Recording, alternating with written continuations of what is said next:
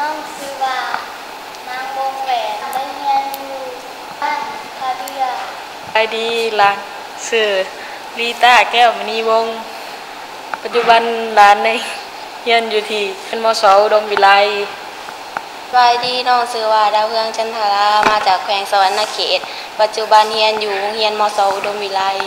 ดีน้องซื้ออิงทองธรรมวงศามาจากแขวงสวรรค์เขต ปัจจุบันเฮียนอยู่ มศอุดมวิไลจุดประสงค์ที่เขามาคัดเลือกจุดประสงค์ที่เขามานี่กับมาคัดเลือกทีมชาติรุ่นอายุ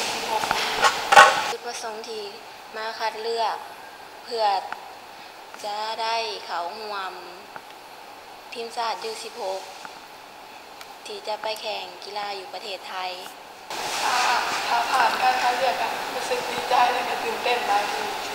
กซ้อมกับทีมชาติไทยและก็ภูมิใจที่ได้เป็นหนึ่งในทีมชาติลาวยู16และน้องจะตั้งใจฝึกซ้อมให้ดีที่สุดรู้สึกดีใจและตื่นเต้นหลายทีได้เขาห่วมทีมชาติยู